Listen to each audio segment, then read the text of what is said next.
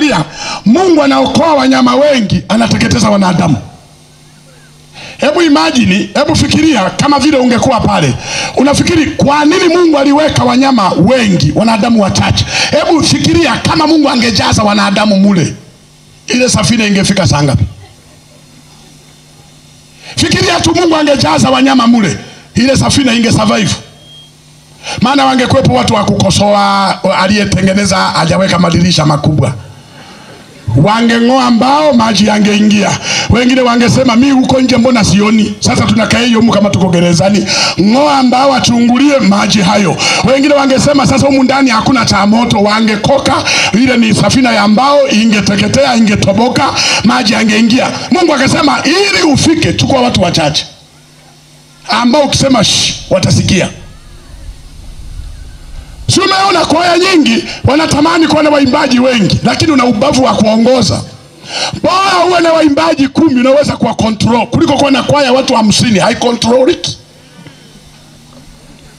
Yaani kwaya ikisanzia watu kumi na tano na kwenda, pasua kichwa. Mnasema kesho tunavaa sare hii, mwingine anasema nguo nimenunua jana, alafu ndo nini, anakuja na ya kwake. Unamuuliza mbona tulisema tutavaa? Hey, we masare sare nayo kama watoto wa, wa, wa shule ya msingi. Sisi sio sekondari bwana, kwani nguo ndo zinaimba? Mnawekana jamani, mazoezi siku ya Alhamisi wanakuja watano, wengine wote ay. Mwisho mwalimu anasema nilitaka nifundishe wimbo, basi tutajifunza wiki ijayo. Wiki ijayo waliokuja juma juma iliyopita hawaji, wamekuja wapya tena kwa kuchelewa, na usimuulize kwa nini umechelewa, umelikoroga. Kwa umesema eh, kwa unafikiri mimi nakula kwaya eh? Nakula kwaya? Hasa unajiuliza wale waliowahi ndio wanakula kwaya, na aliyekulazimisha ujiunge na kwaya wakati una wito nani? Wengine mungekaa kwenye viti mshangilie wengine wakiimba, maana wito ndani yako haupo. Unajua, mwenye wito wa kwaya, siku za kwaya ziko moyoni, masaa ya kwaya yako moyoni, yaani masaa, kila kitu anatamani muda ufike haraka, lakini kuna mijitu utafikiri imetumwa na shetani. Kuimba alitaki yani kila kitu, lakini liko mule. Mnasema michango, anaangalia chini. Tushone sare, anaangalia chini. Hey, tunafanya hiki, anaangalia chini. Tukamwone mgonjwa, haendi. Tukamwone mfiwa, haendi. Sijui tuende kuimba msibani, hafiki. Lakini kwenye kwaya yumo, anakuja kwa mgao, utafikiri Krismasi. Lakini ndio viumbe hawa, utafanyaje? Utafanyaje sasa? Ndio viumbe hawa Ukiwaambia tupige step hivi utasikia hey, hey, hey, mtatuvunja miguu. Haya, tusimame tuimbe hivi hivi. Kwaya gani tumesimama kama wanajeshi? Lazima kuwe na step kidogo, yaani step kosa, mkisimama kosa, wimbo mrefu kosa, mfupi kosa. Kuongoza kwaya ni kazi, yaani ukiwa mwenyekiti ukaongoza mwaka mzima, chukua jogoo mzima ule peke yako ujipongeze. Maana umeongoza vijana wasioongozeka, ni viumbe pasua kichwa. Wachungaji wanajua usalama wa mchungaji kwenye usharika uko kwenye vikundi, yaani vikundi vikikaa sawa, mchungaji unalala salama, lakini visumbufu vikundi hivi kisije kikasafiri kimoja, mchungaji una nafasi ukaenda nao kingine kinasema tunaondoka na sisi mwezi ujao, unasema ah, tutakuwa na kikao Kasuru. Sa, Eh, sisi huwezi kuongozana na sisi, unapendelea kwaya fulani elelele. Wakiimba wengine ukasema tupige makofi, wakapiga. Wanaimba wengine ukasahau kusema tupige makofi. Kwa hiyo sisi hatupigiwi makofi, mchungaji anapenda kwaya ile. Kuongoza vikundi kanisani ni pasua kichwa, maana vina viumbe pasua kichwa. Kwaya ni majanga na unajua kwa nini kwaya zina kiburi? Kwa sababu zinajua Wakristo wengi wanakuja kanisani kwa sababu yao, na ni kweli asilimia tisini na tisa ya waumini wa, wa, wa wanafuata nyimbo. Ni kweli kwaya ndio mnaokamata watu. Ukiwa na kwaya nzuri kanisani, mahudhurio kila siku kanisa litakuwa linajaa. Ukiwa na kwaya zile za kusinzia zile, watu watakuwa nakuja kwa kuhesabu. Kweli nyie ni mgongo wa kanisa, kweli nyie ni nguzo ya kanisa, lakini siwape kiburi. Unakutana na kwaya, viongozi wanageuka wachungaji zaidi ya mchungaji, wanaamuri humo au yani mpaka mchungaji hana amuri. Wanaweza kuiondoa kwaya, mchungaji hana habari, anasikia tu kwaya haipo. Kwaya ile tuko kupiga injili Kalinzi. We, mbona mnania? Ah, mchungaji usipinge neno la Mungu. Ha! Kiongozi wa kwaya unatakiwa kujua hao waimbaji ni washarika wa mtu, sio wa kwako. Kama una hamu na kanisa, kaanzishe uone moto wa kuanzisha kanisa. Unadandia waumini wa mtu na kujimilikisha humo ndani. Unaenda makanisa mengine, kanisa lina makanisa matatu humo ndani kwenye kanisa moja, kwaya moja, kanisa limejitegemea, lina kila kitu, lina mipango yao. Wanaweza kuwa na miradi mchungaji ajui, wana mipango yao mchungaji haelewi, yaani wana kanisa ndani ya kanisa. Mwangalie mwenzako, ukiona anabadilika, ndio kwaya wasumbufu hao. Amen, haleluya. Uzuri wangu mimi ni mtu wa kuweka mambo peupe. Mimi simung'unyi maneno. Hata ukinichukia unanisaidia nini sasa? Ha, mimi huyu simpendi, sawa. Alafu kifuatacho kwamba nitalala njaa na kula kwako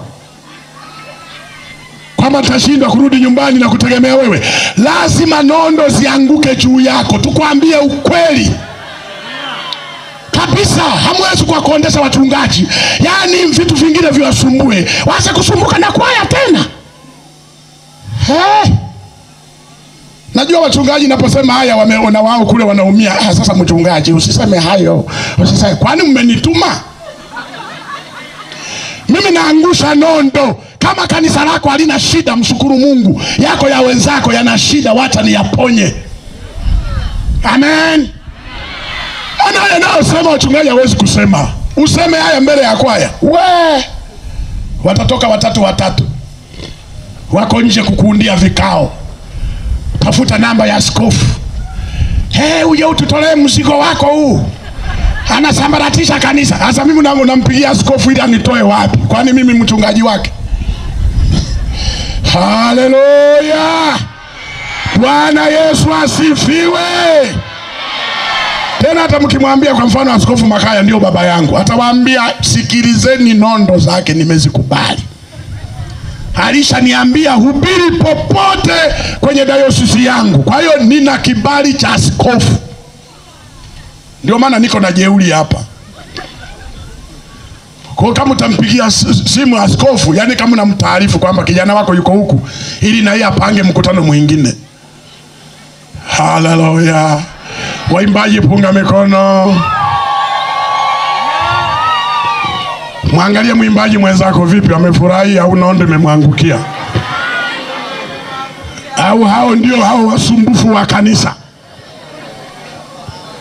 Tena wengine ni wasumbufu kanisani hata sadaka hawatoi. Wakisema wimbo wa sadaka wanajibana kwenye kwaya. Tena usiombe ukasema eh, kwaya fulani waimbe wakati tunatoa sadaka, ndo anafurahi, anajificha hapo kwenye, kwenye step. Wachungaji waambieni kabla ya kuimba wapitie chombo kwanza, wapite kwenye chombo ndo waende kuimba. Asiye na sadaka manake hatakuja mbele. Amen. Unapenda mafundisho haya? Unapenda mafundisho haya ambayo hayakopeshi? Haya ndiyo kesh, tunamalizana. Hunidai sikudai. Kwa hiyo kuongoza viumbe hawa ni shida. Sasa hizo ni kwaya za vijana, sasa kasheshe za kina mama, sasa za kina mama ndio kasheshe hata wakichagua mwenyekiti wote wanakuwa wenye viti, wakichagua katibu wote ni makatibu, wakichagua mweka hela wote wanaweka hela. Utasikia sasa hizo anasema hey, na mimi nimeziweka, kwani sina shida gani? Wakikaa mwingine ananyosha kidole, sio kwamba nasubiri kupewa na mwenyekiti, anapewa na mwingine ambaye sio mwenyekiti. Eh, unataka kusema nini? Nani wewe wewe unampa kidole mwenzako wewe ndio mwenyekiti za hey, si ametaka kusema? Amenyosha muda mrefu.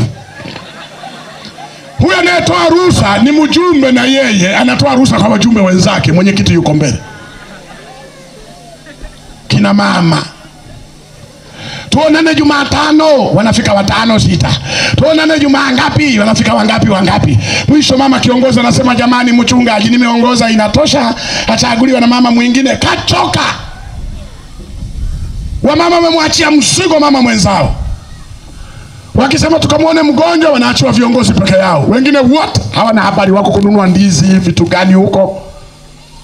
Viumbe hawapasua kichwa. Kwa hiyo kuongoza wanadamu ni kibarua. Sasa yote kumi wazee wa kanisa sasa. Wako wazee pasua kichwa umewahi kuyaona makanisa yana wazee wa bairi hao? Yani wanaona hata mchungaji wakimpangia posho kubwa atafaidi sana. Mchungaji tuwe tunampa laki mbili. Sasa tunajuza we mzee hata tusipompa hizo laki sasa tutakupa wewe ukanunulie mbuzi zako pesa za kanisa. Yaani mchungaji anaishi hapo. Yaani wanaona raha akiteseka. Wanakuwa na wazee wenye moyo nitaka kusema wa korosho siku hizi korosho zina bei moyo wa mba, wa, wa, mtaita nini? Mbazi. Yaani wabairi. Hawako tayari kabisa. Yanaweka kauzibe. Yako maparishi mengine askofu akikupanga unamwangalia mara mbili mbili baba nimekukosea au? Maana kakanisa kabairi hako. Ukiona watu wanakuja nyumbani kwako wameleta taarifa ya msiba. Hakuna muumini anayekuja amebeba karambo amebeba kamfuko kaweka sukari nyama nikamsalimia mchungaji. Yaani akija ni kuleta umbea kugombanisha mchungaji na wakristo mchungaji na nini mchungaji sina nani. Hakuna anayeleta chochote kwa ajili ya mchungaji. Ni umbea tu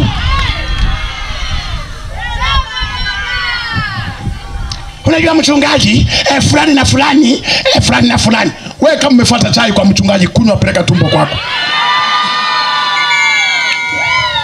Na watu wa namna hiyo saa nyingine wachungaji mwe mnawaumbua. Akisema mwambie nimesikia. Mwite katikati ya wakristo seme ulikuwa unasemaje? Eh, eh, eh, jana. Ili wengine wa, wapate taarifa. Ulisema kina nani wanasemaje mara wengine ni wachonganishi viumbe hawa kuishi nao ni musaraba. kama unafikiri nasema uongo muulize jirani yako mara ya mwisho kwenda kwa mchungaji wako lini na kama ulienda ulienda kufuata nini Hey, yani nikampe tena mchungaji ambaye anaonekana yuko nafuu. Msiwaone wachungaji hivyo, ni mafuta tu yanawasaidia. Kuna wengine wana hali ngumu kweli, ila hawezi kusema anasimama pale. Haleluya! Hata chai hajanywa. Mbona kavaa kasuti? Alionewa huruma na mkristo mmoja akasema oh, kashati kamekatika kwenye kora. Sijui kiatu kimekaa upande. Ngoja nimnunulie mchungaji wangu. Ndio maana kanapendeza Ah, hizo zitakuwa sadaka zetu hizo. Zitakuwa sadaka zetu. Sadaka zenyewe unatoa shilingi mia mbili mia tatu ndio zikanunue suti. Leo nimewaamkia Eh, hata mkisema ah, umesema utamaliza kesho, sitakuja. Ndio maana nataka nimalizane na wewe, maana najua inawezekana kesho hutafika, maana ni kiumbe pasua kichwa. Amen, haleluya. Ha, mchungaji si wake, wa- wachungaji wana wanamtumikia Mungu atalipwa mbinguni. Mbinguni ndio kuna shule za kata mbinguni ndo kuna sekondari ndo kuna bucha mbinguni. Biblia inasema tutapata mara mia duniani kisha uzima wa milele. Hiyo mia mnaigomea yani? Amen. Haleluya nazungumza waumini pasua kichwa ambao ukiongoza ni tabu. Pasua kichwa. Sasa hayo ni mambo ya kanisani. Hasa kwenye familia ndiyo majanga wewe mwangalia tu mama mume ulio naye pasua kichwa.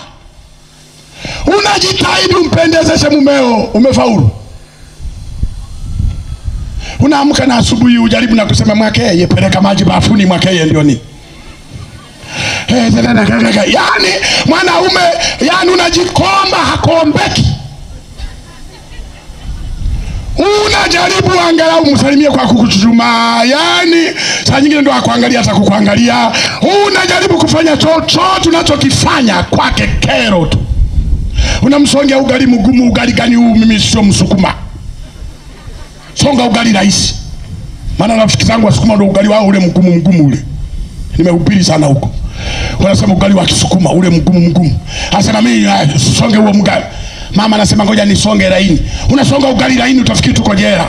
Yaani mama anajitahidi chochote kile, akipika kamboga aweke kamchuzi kidogo. Mboga gani haina mchuzi? Akaweka mchuzi. Mboga gani mchuzi na leo utafikiri ziwa Tanganyika. Yaani chochote anachokifanya kinakosolewa tu. Unamfulia nguo, anaenda kwenye nguo kuangalia, haijatakata hii umetikita sana hii, yani ni kukosoa kosoa tu. Mama, usipate tabu. kiumbu ulioolewa naye, hata Mungu mwenyewe amemshindwa. Mungu mwenyewe anasema amejuta kumuumba. Sasa tunafikiri wewe utaishi naye kirahisi? Mama uliyekuwa na mapresha, mume wangu ananipa presha, kuanzia leo karare usingizi wote Nimesha kuambia unaishi na kiumbe pasua kichwa. Ukiona saa nyingine linaongea maneno ya ajabu ajabu, sema hey, nilishaambiwa na mchungaji. Ukiona linakutukana tukana, wala usipate tabu. Hata we ng'ombe kabisa, useme wewe usingeoa ng'ombe, ulijua kabisa mi kiumbe binadamu. Wewe jipe saa nyingine, mama, jipe raha mwenyewe. Ukianza kuconcentrate unaanza kabisa kumwangalia mtu atakupa pressure, alafu yeye anaenda kula nyama, anaenda kuchoma mbuzi, anaenda kuchoma kitimoto. Wewe una yani, baba fulani ndo wakuniambia hivi, unateseka bure na kiumbe huyo. Likitukana liache na matusi yake, wewe imba pambio, haleluya, haleluya, kiumbe pasua kichwa huyu, haleluya le Alafu linashangaa lilitukana, lilitegemea utanuna, anakuta ndo unatabasamu, unamwambia alafu kuku alitaga mayai mawili nikuweke pembeni kwenye ugali. Yani anatukana, alifikiri utachukia, unamwambia mme wangu, alafu leo kuna baridi, nikuchemshie maji, si ndio eh? Anatukana, nafikiri utachukia, umwambie, alafu ukimaliza uniambie nguo za kufua, nisije nikafua na zingine ambazo zina nani maana ndiyo mkeo mimi, mimi ndiyo mkeo. Nenda uendako, mimi ndiyo mwenyewe. Yani nategemea utachukia, utakuna saga meno, nakuta wewe ndo kwanza una amani yote. Kwa nini? Mchungaji Mgogo alisha kuambia viumbe hawa ni pasua hivi. Kwanzia leo utakuwa na presha, utakuwa na msongo wa mawazo likikutukana utakuna unapata tabu. Tumesha kuambia kiumbe pasua kichwa. Amen. Kwa hiyo baba, kwanzia leo usisumbuke nako kamama hako ni kamama, pasua kichwa, wala kasikusumbue, ni shida. Maana tuko tumama tufufuzera mudomo wakati hata ngumi hakajui, uwezo hakana, kana kuja mpaka mwilini, nipige nipige. Unafikiri mume wako ni ndugu yako?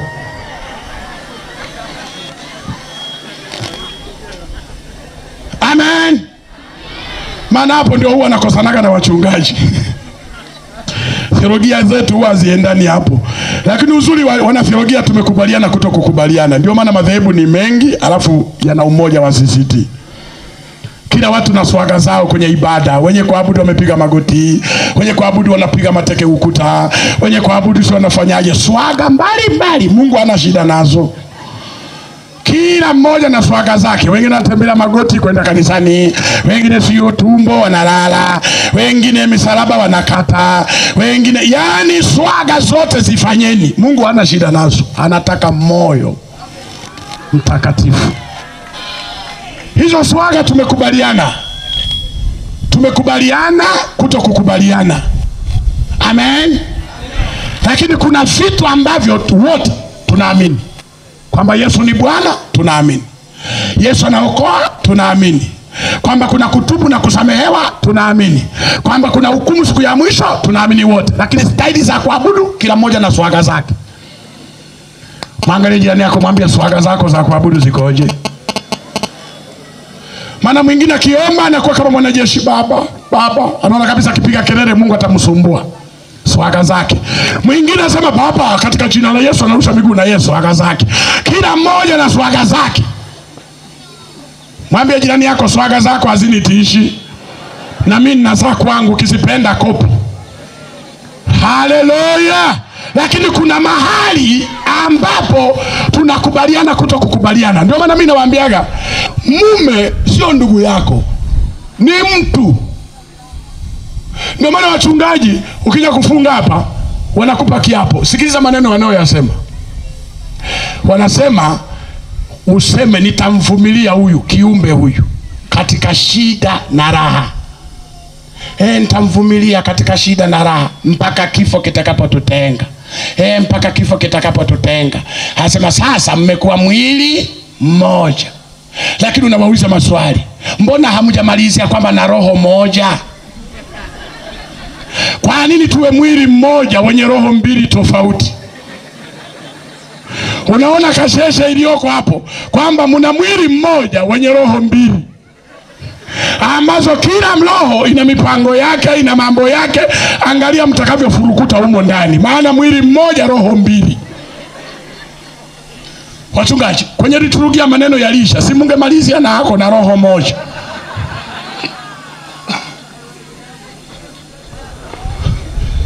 Haleluya, haleluya! Manake munaishi mwili mmoja wenye roho ngapi? Mbili. Sasa wewe unamwendea mwenzako, nipige, nipige, unafikia na kuacha ni mwanaume lenyewe alijaokoka, alimjui Mungu, linakuja kanisani kwa sababu lilizaliwa kanisani. Baba yake alikuwa Mkristo, alikuwa nalilazimisha kwenye Sunday Sunday, ah, Sunday kwao likazoea kanisa sande sande, likaanza kuimba na vijana, likaanza kuwa likristo humo, likatimiza hatua zote, lakini kwa kweli halijawahi kuwa likristo. Ukristo limelazimishwa na wazazi, lenyewe halijawahi kusimama kumkiri Yesu kama Bwana, hajawahi. Ndio maana ngumi zinaenda kama kawaida, ndio maana kwa waganga linaenda kama kawaida, ndio maana mahirizi linavaa kama kawaida, ndio maana likorofi hujawahi kuona, ndio maana likitukana matusi utafikiri imemeza kamsi ya matusi, ndio maana yani lina mambo ya ajabu, kwa sababu halijawahi kuwa ni Kristo. Mwangalie jirani yako, umewahi? Anasemaje? Amewahi kuwa Mkristo? Ni Mkristo. Kama ni Mkristo, kinywa chake kitatu, kitatupa picha. Unajua, mtu sio lazima kwambie nimelewa. Tabia za ulevi utaziona ndani. Ndio maana mtu kisema umelewa, nasema umeninywesha, umeninywesha, alafu huko anapepesuka, mimi nani melewa? Nilewe mimi mimi huko anasema eh, nishikilie mimi siwezi kuanguka. Kwa nini? Kwa sababu akili nakataa kulewa, mwili umekubali. Kwa hiyo na wewe akili yako inajua kabisa hujawahi, alafu wewe mwili unasema ah, mimi ni Mkristo, unapiga na step, alafu hapo unatoka hapo unaenda kutongoza wasichana. Hizo ndio tabia za Wakristo. Unatoka hapo unaenda kuroga watu. Umo kanisani mchawi. Kwa sababu katika watu ambao hawana akili ni wachawi, kwa sababu ana wafikiria fikiria, anawaza kuniloga mimi wakati anajua hata nikifa mali zangu hachukui.